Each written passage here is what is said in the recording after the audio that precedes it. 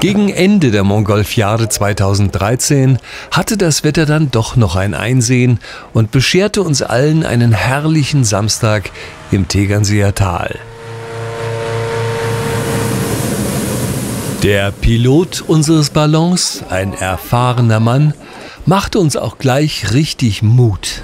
Ich darf euch durch die Luft fahren, wenn irgendwer Schwierigkeiten kriegt, überwiegend gesundheitlicher Art, äh, bitte gleich melden. Ah ja, okay. Unvorstellbar, wie schnell dieser Ballon uns nach oben befördert und uns dann mit einer atemberaubenden Aussicht belohnt. Die Neureuth.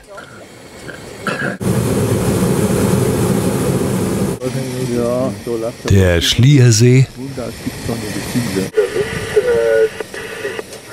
Mittlerweile waren wir auf 3400 Meter gestiegen.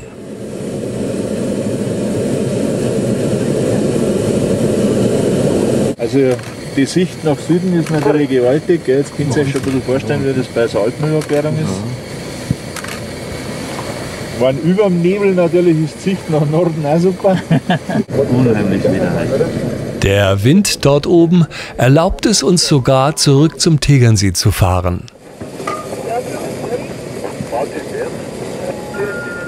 Tegernseer Schloss.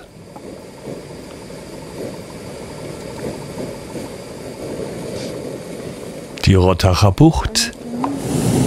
Sonnenbichel Bad Wiessee.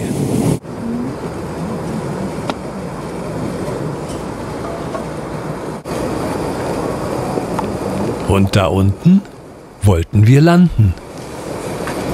Bei der Landung ging es alle ein bisschen in mir, sodass ihr ein bisschen federn könnt.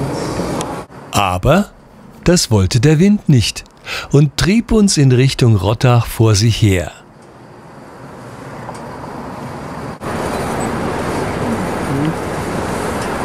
Also wieder Höhe gewinnen und den nächsten möglichen Landeplatz anpeilen.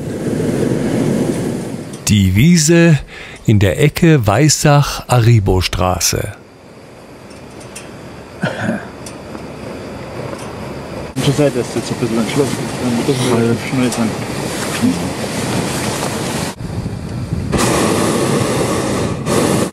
Schick dir wieder. Nein, nicht zu mir.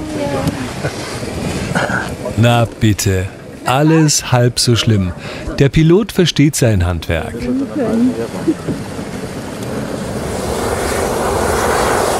Die Bodencrew war über unseren Landeplatz informiert und bereits auf dem Weg.